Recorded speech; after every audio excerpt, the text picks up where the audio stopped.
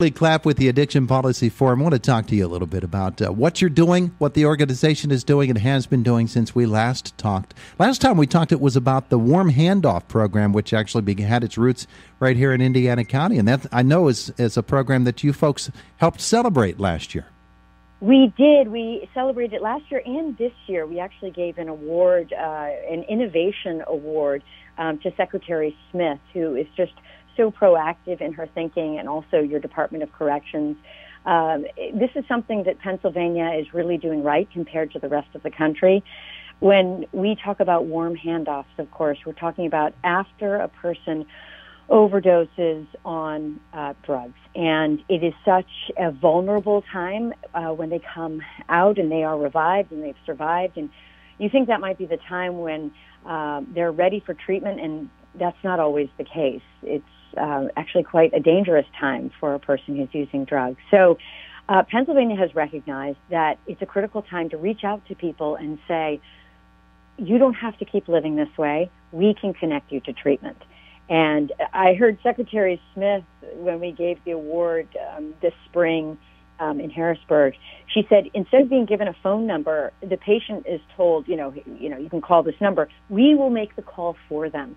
Mm-hmm. So I think that is so key because it's it's difficult. It's scary when your brain is taken over by addiction and drugs. Um, you are convinced that that's the most important thing in the world, and that breaking away from that is is very scary. So.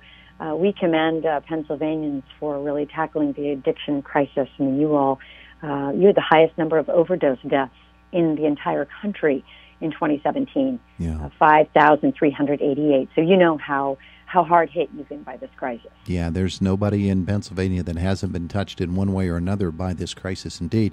Um, and programs like Warm Handoff and, and so many others that we read about with the Addiction Policy Forum, that's really what you're all about, is uh, sort of uh, finding ways to encourage programs such as this to be developed and then sharing them so that others might say, hey, there's something we could try here.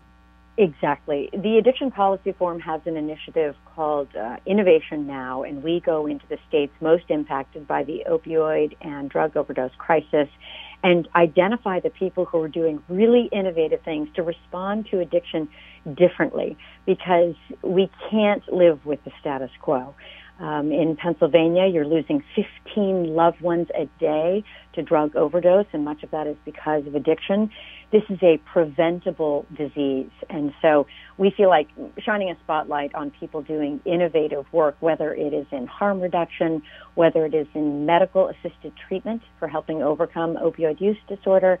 Uh, Pennsylvania is really looking at the whole toolkit and saying what do we have in here and what can we use and how can we save lives and, and turn this crisis around. Kimberly, is it difficult uh, from your standpoint to measure what programs work, what programs should be developed further, and what maybe isn't working and we should go in a different direction?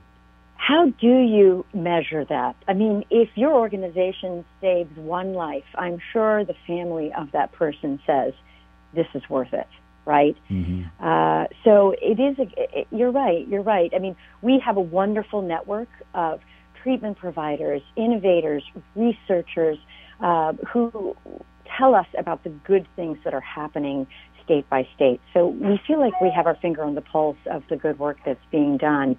Um, but we also do feel like Pennsylvanians are bombarded with ads call this 1-800 number for help and you don't know which one to turn to. And that's one of the reasons why we committed resources to creating a database of treatment providers across the country. Um, it's called the Addiction Resource Center. It has 56,000 recovery resources across the country. Over 1,600 of those recovery resources are in Pennsylvania. Wow. And they are just a phone call or a text or a web browse away. Um, if I could give you that number, it's 833-301-HELP, 833-301-HELP, um, or the addictionresourcecenter.org. And you can go on there right now, click on Pennsylvania, click on your county, put in your address, and mark what services you need. Do you need counseling? Do you need a women only facility? Um, do you have private insurance or do you not? We feel like if you can go and search a hotel as to whether it has a pool or not, you certainly should be able to go and find out what treatment services are right for your loved one, for your family. And you've got lots of resources right there in Pennsylvania.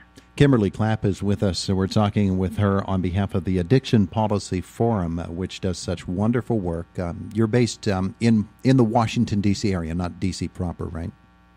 We are based on K Street um, in Washington D.C., oh, yeah. but we have resources in every state, and we feel deeply connected uh, to every state. Mostly, um, initially, we hear from parents who've lost their children or their teenagers to drug overdose, and I've got to tell you, they are the most courageous people on the planet.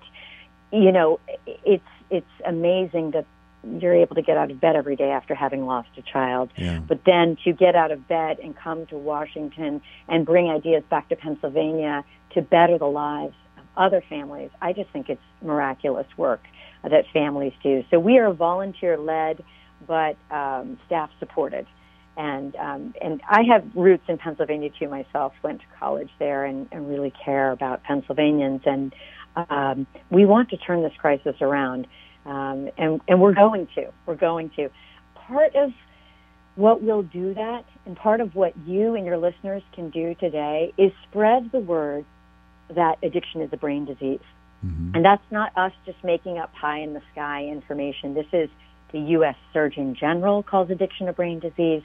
The White House drug czar, the head of NIH, this is science. You can look at scans of the brain and see the way the brain has changed because of addiction.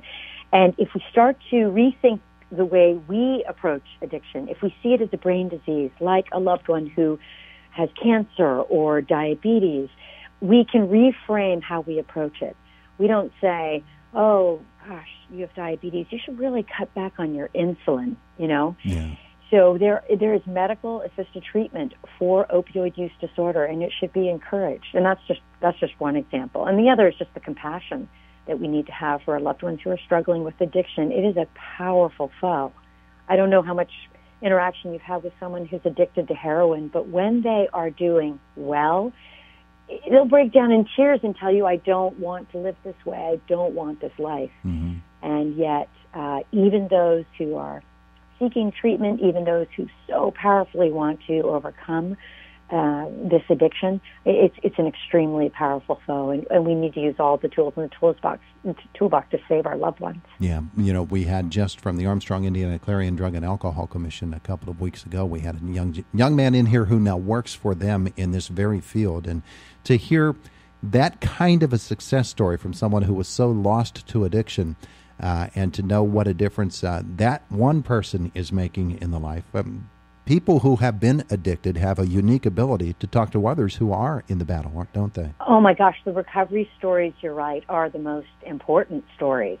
Um, and they are inspiring because uh, when we talk to uh, addiction psychiatrists and medical experts, they say what's wonderful about uh, treating this disease space is that patients can and do recover you can't say the same for some other diseases that uh, really are deadly. This is an area where um, patients can recover. The brain can recover. It's a beautiful thing. So to anytime you can hear someone's recovery story and share that um, and be that source of inspiration for someone who's struggling, I, I, couldn't agree with you more. It's it's very powerful. She is Kimberly Clapp, the Addiction Policy Forum. Kimberly, if you could give those numbers again, the phone number and the website. I'm so glad you asked. So we call it the ARC, the Addiction Resource Center. The number is 1 833 301 HELP.